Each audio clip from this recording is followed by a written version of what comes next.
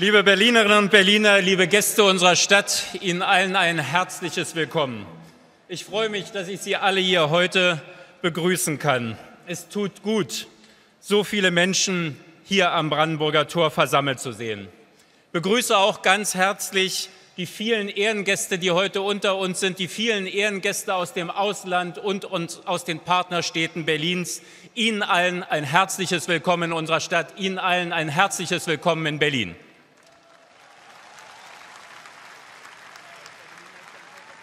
Über 28 Jahre verlief hier an dieser Stelle die Berliner Mauer. Mit aller Härte zementierte sie die Teilung unserer Stadt in zwei Hälften, zwei Systeme, zwei Welten. Doch genau vor 30 Jahren fiel die Berliner Mauer. Es war eine friedliche Revolution, mit der die Menschen in Ostdeutschland sich erhoben. Ein Aufbegehren, das gewaltlos, aber voller Wucht war und das nicht nur die Mauer, sondern mit ihr das SED-Regime zu Fall brachte.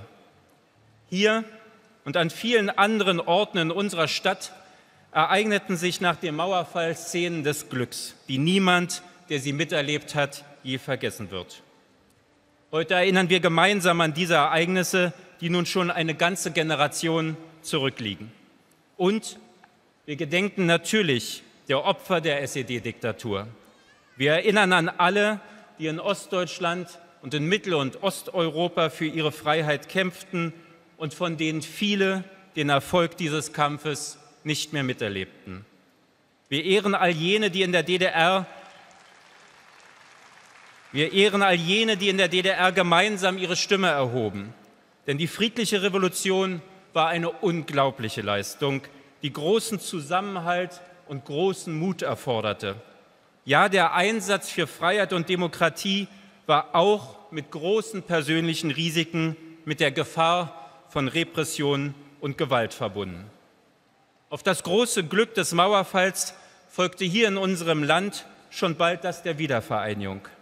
Und wir wissen, das wäre nicht möglich gewesen ohne die Unterstützung der alliierten Schutzmächte und ohne die Unterstützung unserer Partner in Europa und der Welt. Ihnen sind wir zu großem Dank verpflichtet und deshalb freue ich mich sehr, dass heute Vertreterinnen und Vertreter dieser Länder unter uns sind und gemeinsam mit uns diesen Tag feiern. Noch einmal danke und herzlich willkommen.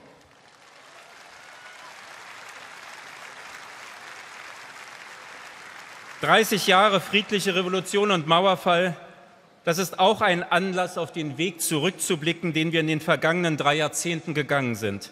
Es war kein leichter Weg, denn Mauerfall und Wiedervereinigung brachten große Herausforderungen mit sich, gerade auch in Berlin. Unsere Stadt erlebte einen tiefgreifenden Wandel, den Verlust Hunderttausender Arbeitsplätze und harte Jahre der Konsolidierung. In Berlin und im ganzen Land mussten wir so manche Krise durchstehen und einige Härten meistern. Es ist richtig, im Prozess der Wiedervereinigung ist uns nicht alles sofort und wahrscheinlich auch nicht alles gut gelungen.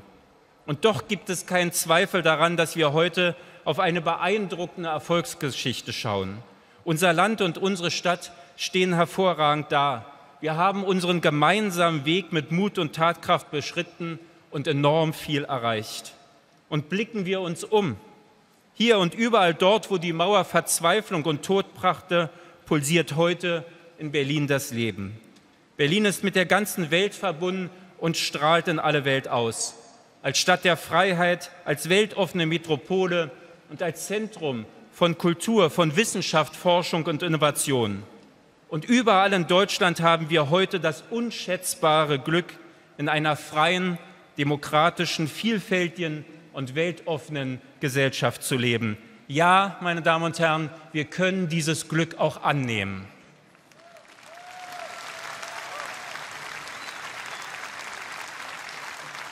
Der Dank für die großen Erfolge im Prozess der Wiedervereinigung unseres Landes gebührt allen Bürgerinnen und Bürgern, die sich seit 30 Jahren in Ost und West für das Zusammenwachsen und für den Zusammenhalt engagieren, in den Städten und auf dem Land, in der Zivilgesellschaft, in den Unternehmen oder in Politik und Verwaltung.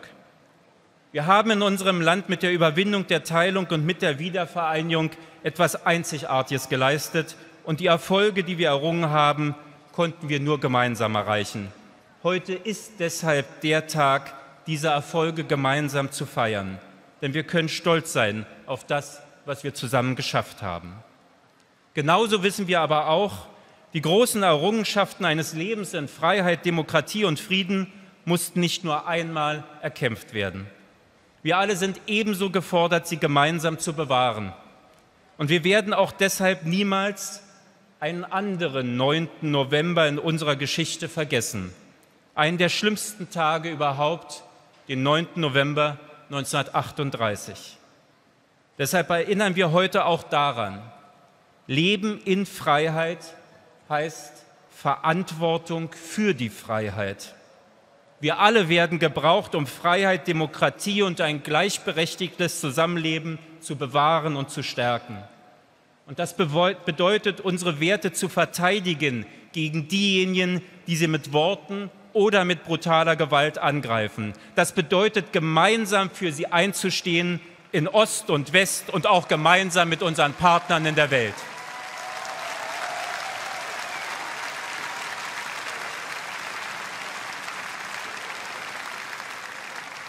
Populisten und all jene, die Hass und Hetze verbreiten, setzen auf bösartige Klischees, auf Vorurteile und auf Ressentiments. Sie greifen unser Zusammenleben ganz kalkuliert an und wollen unsere Gesellschaft auseinandertreiben. Sie kämpfen gegen die Freiheit, gegen die Demokratie, gegen unsere Erinnerungskultur und gegen eine solidarische Gesellschaft, gegen alles, was unser Zusammenleben ausmacht. Wir dürfen sie nicht gewähren lassen, sondern müssen entschieden für unsere Werte einstehen.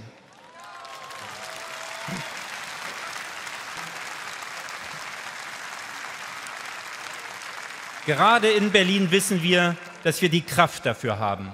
In unserer vielfältigen und weltoffenen Stadt, in diesem großartigen Land und in Europa lassen wir uns nicht spalten, denn uns verbindet mehr, als uns je trennen könnte. Wir wissen, dass der gemeinsame Wunsch der Menschen nach einem Leben in Frieden, Freiheit und Demokratie am Ende stärker ist als aller Hass und alle Mauern. Lassen Sie uns deshalb den Blick auf das Gemeinsame richten, auf das, was wir zusammen geschafft haben und auf das, was wir zusammen noch erreichen wollen. Sprechen wir miteinander statt übereinander und verabschieden wir uns von den Mythen und von eingefahrenen Erzählungen über Ost und West, über die jeweils anderen in unserer vielfältigen Gesellschaft. Wir haben es in der Hand, gemeinsam unsere Zukunft zu gestalten, gemeinsam in unserem vereinten, freien, demokratischen Land und in einem geeinten Europa. Dafür lohnt es sich zu kämpfen, aber dafür brauchen wir auch jede und jeden an seinem Platz mit seinen Mitteln jeden Tag. Meine Damen und Herren, wie so viele Berlinerinnen und Berliner bin ich in einer geteilten Stadt und mit der Mauer aufgewachsen. Über viele Jahre trennte sie Berlin und damit zahllose Familien und Freunde voneinander. Ein vereintes Berlin erschien den meisten von uns bestenfalls wie eine vage Hoffnung. Das Miterleben des Mauerfalls, Zeugen dieser Stunde größten Glücks zu sein, das hat, auch, das hat uns und das hat auch mich sehr geprägt. Es bewegt mich deshalb heute als regierender Bürgermeister Berlins am Brandenburger Tor zu sein, an einer Stelle, an der eben nicht mehr Mauer und Todesstreifen verlaufen, sondern an einer Stelle, die in der Mitte eines vereinten Berlins, in der Mitte der Hauptstadt eines vereinten Landes liegt. Und genauso bewegt es mich, hier gemeinsam mit Ihnen, den Berlinerinnen und Berlinern und mit unseren Gästen aus aller Welt zu sein. Feiern wir heute gemeinsam 30 Jahre Mauerfall und reichen wir uns die Hand für ein solidarisches Zusammenleben in Demokratie, in Frieden und Freiheit, zusammen und ohne Mauer. Vielen Dank und alles Gute.